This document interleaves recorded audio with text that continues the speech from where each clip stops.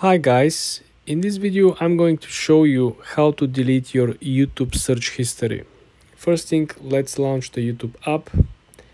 Then you want to head to the lower right corner and click on the icon that it says you. Okay, then you want to go ahead and click on the gear icon at the top right corner. Then you want to scroll down to the section that it says manage all history. You want to click on manage all history and here you will be left with a bunch of different options. Let me explain simple, clear visual. First option of course is you want to make sure do you have on or off auto deletion. You want to click on auto delete and you will see that auto delete option currently it's not on on this particular account. If I had it on this will give me an option after 3 months, 18 months or 36 months to have my search history automatically deleted.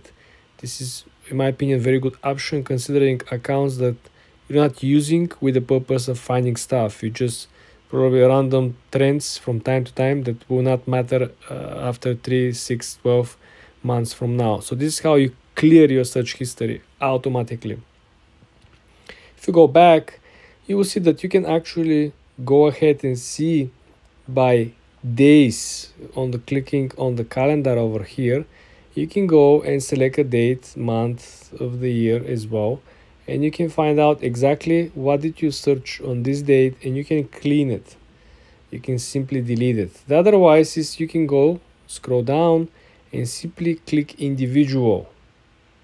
X x X, right? You can simply individually delete each of these items over here.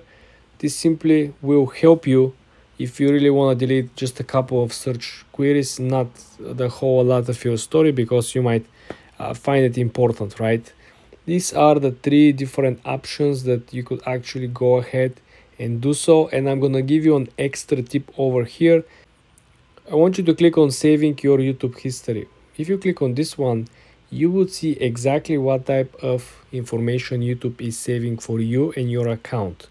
As you can see, YouTube saves the videos that you've watched, YouTube saves the search queries that you put, and YouTube saves the voice and audio activity. You can individually toggle this on and off depend of your preference.